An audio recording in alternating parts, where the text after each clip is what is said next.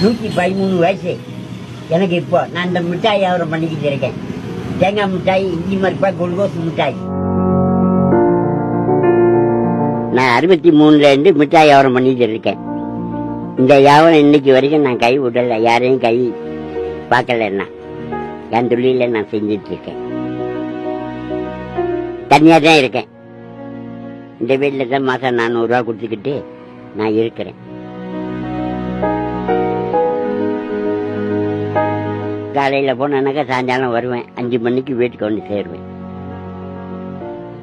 ஒரு நாளைக்கு நூறுரூவா நூற்றி இருபத்தஞ்சி ரூபா தான் கிடைக்கும் இந்த வியாபாரத்தில் எல்லாம் எல்லா விலைவாசியும் கூட. அதனால எனக்கு இந்த வியாபாரமும் இப்போ முடிகிற வரைக்கும் நான் செய்வோம் இருக்கேன்.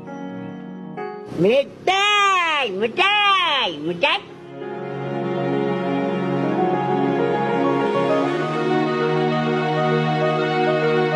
வேற யாருக்கிட்டையும் கையை ஏண்ட வேண்டிய வேலையும் இல்லை. என்ன?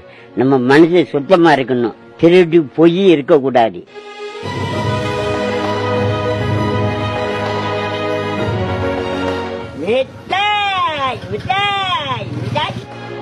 நம்ம மனசு சுத்தமா இருக்கணும். திருடி பொய் இருக்கக்கூடாது.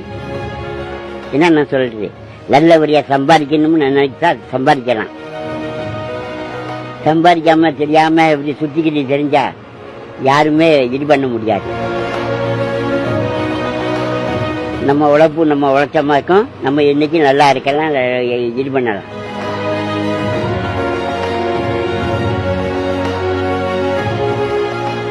நடந்தே போய் விற்கிறாரு இந்த வயசுலயும் அதுல ஒரு ஆச்சரியப்படுறதுக்கு என்ன ஒரு விஷயம்னா நடந்தே போய் விற்கிறாரு வித்துட்டு வந்துடுறாரு வருமானம் சொற்ப வருமானமா இருந்தாலும் அதை வச்சுக்கிட்டு நான் சந்தோஷமா இருக்கிறேன். அப்படின்னு கேட்கறது என்னத்தான் நீங்க சாப்பிடுறீங்க? என்ன பண்றீங்க? அப்படின்னு நம்ம கேட்கும்போது இல்லப்பா நான் ஒண்ணும் இல்ல. அந்த இருக்கிறத கொண்டு என்னுடைய மனநிறைவா நான் இருந்துக்கிறேன். அதுதான் எனக்கு இந்த இவ்வளவு நீளம் நினைச்சு இருக்கிறேன் அப்படின்னு சொல்லி கேட்கறது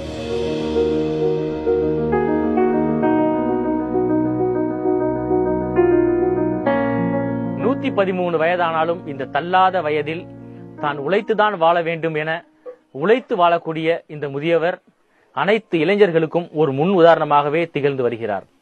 ஒளிப்பதிவாளர் டேவிட்டுடன் நான் ஹாதர் புதிய தலைமுறைக்காக. கலர்ஃபுல்லா யூத்ஃபுல்லா உதயம் வர்ணா.